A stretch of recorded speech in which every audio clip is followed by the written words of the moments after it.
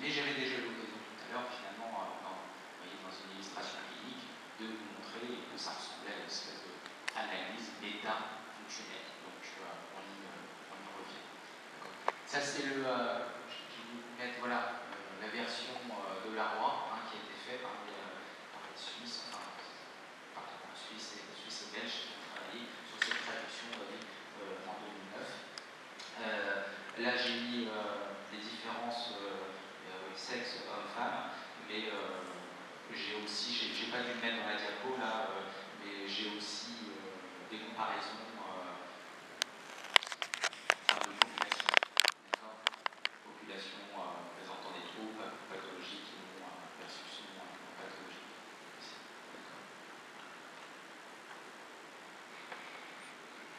Alors, venons-en, euh, c'est important, euh, les différentes étapes. Qu'est-ce qu'on fait Qu'est-ce qu'on fait quand on fait de la thérapie euh, métacognitive Excusez-moi, mais je vais, je vais être. je ne vais pas inventer, je vais juste vous raconter quelque chose qui est innovant. Mais innovant, ça veut dire, c'est-à-dire à partir de des choses qui existent déjà. C'est pas une pas une nouveauté totale. Léonard de Vinci, oui, il a Après, on a innové sur les œuvres de Léonard. Donc, thérapie métacognitive, qu'est-ce qu'on y fait? Identifier les différents niveaux de cognition. D'accord? Donc, on entend les différents niveaux de cognition, c'est quoi? C'est les cognitions, je mets dans le désordre les cognitions, les croyances, les biais et les métacognitions, positives et négatives identifier les processus cognitifs dysfonctionnels, les inquiétudes, les, euh, les, stratégies, les stratégies efficaces de type euh, hypervigilance ou tentative de, contrôle, les situations de peur, tentative de contrôle sur ses propres, son propre ressenti, l'évitement, la suppression, etc. Ça, le dialogue socratique, pas, mais par contre, le questionnement va porter sur les métacognitions, pas sur les cognitions. L'exposition, je vous en dirai deux mots, l'entraînement intentionnel et euh, ce qu'a appelé euh, euh, ça pourrait faire penser à la pleine conscience. Probablement qu'il y a des. de toute façon, vous savez, il y a, il y a, autant de similitudes et de différences entre tous les, les, différents courants et même au sein, même les approches au sein d'un courant des choses connues et des choses qui sont différentes. Donc ce qu'il a appelé, le, la pleine conscience détachée, euh, je ne l'ai pas traduit parce que c'est intraduisible en fait. Et euh, vous verrez, il y a un certain nombre d'exercices qui sont, euh, qui sont proposés, mais qui ne nécessitent pas, comme on pourrait le faire quand on fait la pleine conscience ou qu'on suit un programme, hein, MBSR ou MBCT par exemple, hein, Finalement, là, le travail que proposent les auteurs, il y a une prise de conscience de son propre fonctionnement, la tentative pour s'en détacher, etc. Mais ça ressemble plus, on est plus dans l'esprit de acte. Voyez, quand vous faites acte, vous n'êtes pas obligé de devenir méditant. Une, euh, on n'est pas obligé de rentrer dans une pratique de la pleine conscience. Après, c'est un choix personnel, si on souhaite le faire. Mais ce n'est pas ce qu'on demande. Il est sûr que quand on est dans une approche centrée sur la pleine conscience, ça nécessite davantage. Oui, là, clairement, euh, pour, euh, pour avoir fait euh, des études, quelques études sur le sujet, et enfin, moi et d'autres, hein, de toute façon, les études, ça ne pas, on voit bien ce qui fait la différence entre, je veux dire, ce qui limite le nombre de rechutes, très clairement auprès de nos patients, ce sont les patients, tout simplement, qui continuent ou qui pratiquent de manière régulière après la pratique des groupes. C'est comme si je, je, je, dis presque une évidence, mais ça nécessite, ça nécessite une pratique régulière. Ce ce qui n'est pas proposé dans ce modèle. On ne demande pas aux gens d'être dans une pratique de la pleine conscience, c'est plutôt utiliser quelques des ressorts qu'on peut leur proposer. Je donnerai quelques exemples plus tard. Vous voyez les différents niveaux de cognition centré sur les pensées et différent de centré sur les processus. Quelles sont les inquiétudes auxquelles je dois répondre et pas répondre? Modèle cognitif. Voyons quelles sont les inquiétudes réelles et éventuelles et comment y répondre. Modèle métacognitif. C'est comme si vous pensiez que vous aviez besoin de penser une inquiétude pour être capable d'y faire, face. Que se passerait-il si vous décidiez de ne rien faire face à vos inquiétudes? Je le répète, l'un n'empêche pas l'autre. D'accord? L'un n'empêche pas l'autre. L'idée, c'est de s'entraîner et de développer, de prendre le réflexe, de s'intéresser à un autre niveau niveau de travail, à un autre niveau de processus. Ce sont les métacognitions, par exemple. Autre exemple, travail de réattribution. Réattribution, c'est on peut le faire aussi sur les métacognitions. Questionner l'évidence pour répondre. Avantage à ruminer, inconvénient à ruminer. La technique en soi est la même, sauf qu'on s'intéresse au processus. Identifier les distorsions, questionner le mécanisme. De quelle manière s'inquiéter que vous êtes de quelle manière s'inquiéter vous protège Questionner les avantages et les inconvénients avec une pertinence. Et là, c'est le travail résolution que l'on fait classiquement en thérapie cognitive. D'accord? Je vous avais pas menti sur le fait que hein, on est dans la même veine. Hein. C'est pas une chose, c'est pas quelque chose de complètement. L'exposition. Wells propose dans son, euh, dans son modèle une version très épurée d'exposition. Ça ne veut pas dire que euh, les règles d'exposition ne sont pas utiles. Ça ne veut pas dire ça. Une manière de travailler qui est bien plus épurée, qui ressemble plus à ce que propose Barlow dans son modèle unifié des troubles émotionnels, et, qui, ressemble, qui ressemble à peu à ça. Il y a quelques étapes, j'ai repris euh, l'acronyme que propose euh, Wells en modèle. La métacognition, c'est quoi? On identifie, on identifie la situation, on propose au patient de s'exposer, d'accord, avec son changement, et ensuite, on fait C'est-à-dire, en fait, on est vraiment dans une version épurée de l'exposition, c'est-à-dire avant, après. Aucun travail cognitif pendant l'exposition, parce que ça, ça a été un grand débat en TCC aussi. Hein. Ça a été un grand débat. Est-ce qu'on est, est euh, fait la. Est-ce qu'on dispute, euh, qu'on dispute les pensées euh, pendant les séances d'exposition ou pas? Il semblerait qu'il soit préférable pour favoriser la santé, pour, aider le patient à se centrer davantage tout simplement sur son vécu, sur ce qui est en train de se passer chez lui, et de ne pas utiliser le travail de questionnement justement de la thérapie cognitive, parce que comment certains patients vont l'utiliser, alors je peux en témoigner en particulier avec les patients anxieux sociaux, hein, plus que jamais, avec les patients anxieux sociaux, très clairement, je peux vous dire combien de fois je me suis fait avoir je, au début, à l'époque quand j'animais je faisais des groupes d'exposition, eh bien le travail cognitif pendant l'exposition était une bonne stratégie.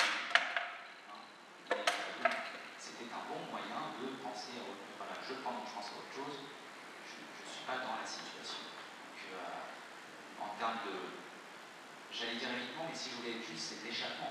C'est-à-dire, je m'expose, mais j'utilise une petite stratégie qui me sert finalement, euh, qui vient me sécuriser, et puis, euh, je ne m'expose pas pleinement à la, à, la, situation. Donc, vous voyez, c'est un modèle qui est assez épuré concernant l'exposition. Pour ma part, quand je l'utilise, ce n'est pas pour autant, ce n'est pas pour autant que euh, euh, les règles d'exposition, euh, et notamment le travail travaillé de manière hiérarchique, reste, reste tout à fait valable, tel que vous l'avez appris. D'accord? En revanche, si je peux voilà, juste rajouter une petite chose, je fais référence à Pierre, hein, Pierre Philippot, parce que euh, en son temps, vous voyez, ça commence à dater. Hein, ça commence à dater, mais je suis euh, désagréablement surpris d'observer que dans les formations, euh, quand je discute avec les étudiants de l'exposition et des règles d'exposition, bon, quand les règles d'exposition de base sont à peu près claires, déjà c'est super. Mais par contre, à aucun moment, et y compris des étudiants que je peux rencontrer qui sont en dernière année, voire même plus avancés, à aucun moment, on leur a parlé à un moment d'optimiser, comment on peut optimiser, comment on peut optimiser des séances d'exposition.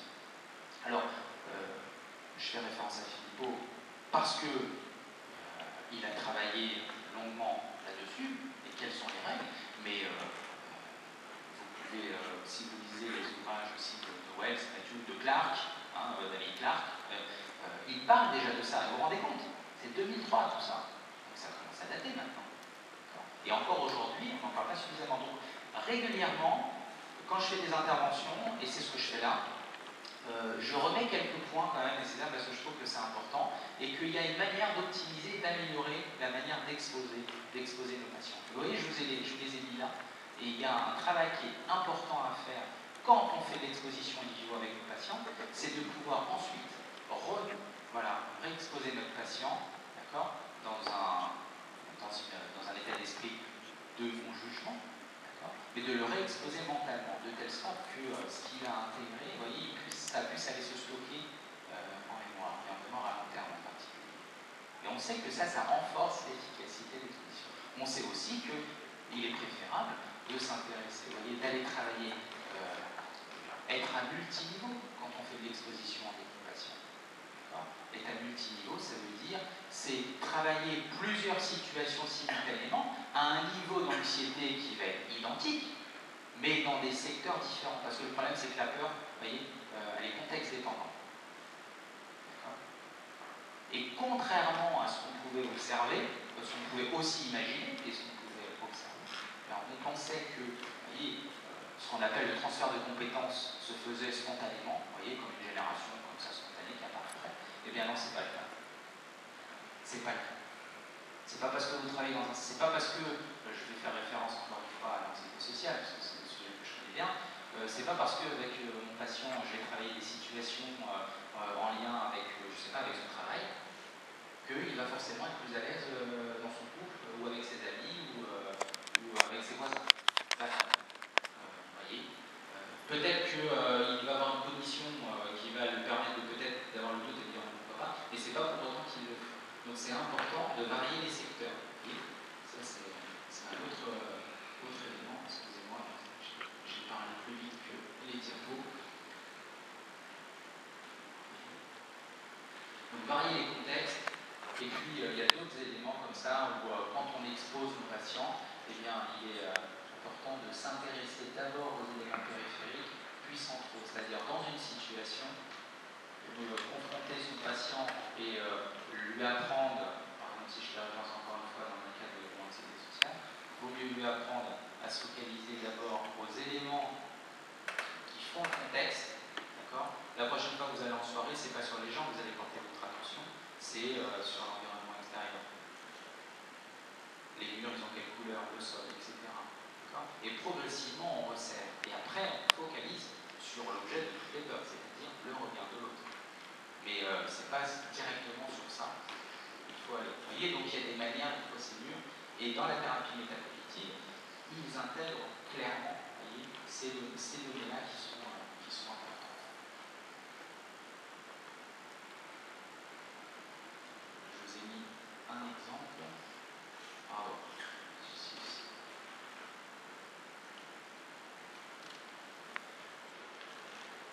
Avantage et inconvénient à changer les rituels dans le temps. Inconvénient, c'est difficile de changer, cela va me perturber, je pourrais baisser quelqu'un, je pourrais euh, jamais me débarrasser de mon pensée. Quelque chose de mauvais arrivera. Je vais devenir une personne que je ne veux pas. Les avantages, en faisant, euh, je pourrais vraiment savoir si c'est difficile, je découvrirai que la détresse est temporaire, etc. etc. Je découvrirai que rien ne se passe. Si vous étiez tenté, qu'est-ce que vous rajouterez euh, Qu'est-ce que vous rajouteriez par une question, euh, Qu'est-ce que vous rajouteriez à cet exercice des avantages et des inconvénients Vous auriez envie de rajouter quoi Qu'est-ce qu'on pourrait rajouter dans, cette, euh, dans cet outil, dans, dans cette technique que l'on utilise assez volontiers en, en, TCC pour arriver à quelque chose à la fin bah, il manque, bah, Vous voyez, il, faut, il manquerait pour chaque chaque item, pour chaque, vous voyez, pour chaque réponse, bah, ça serait bon de l'évaluer. Hein? C'est-à-dire, euh, bah, c'est difficile de changer, très bien. À combien vous y croyez que c'est difficile de changer? Parce que, dit comme ça, je vous assure, si vous laissez juste comme ça, techniquement, à la fin, il ne se passe pas forcément grand-chose. C'est pour ça que, je le répète, je profite, je le dis là aussi, hein,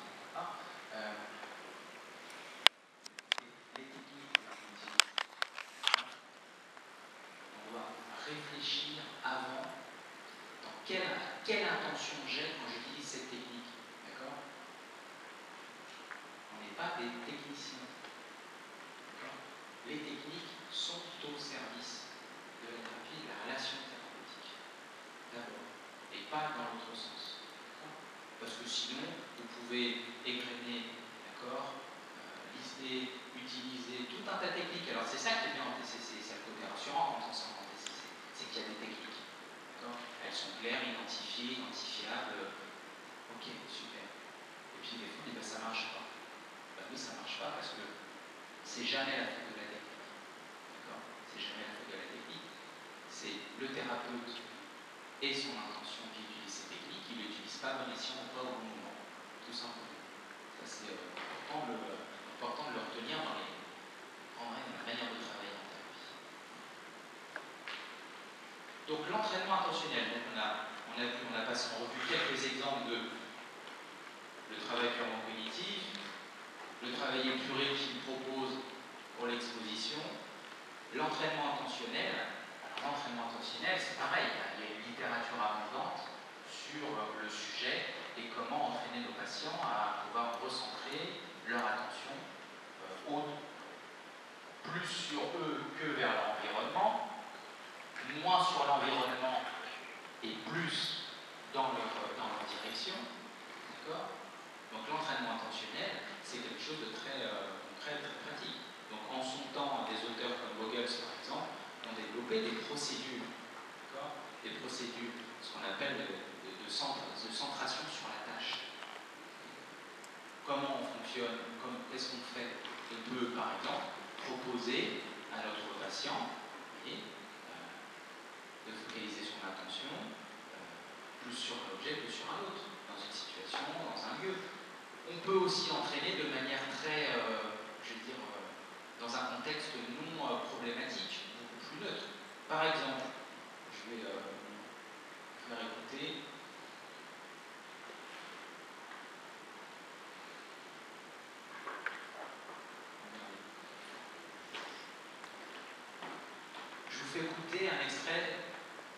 c'est une petite séquence audio, justement, qu'utilisent qu'utilise, euh, euh, Web dans leur, dans leur modèle. Je ne sais pas si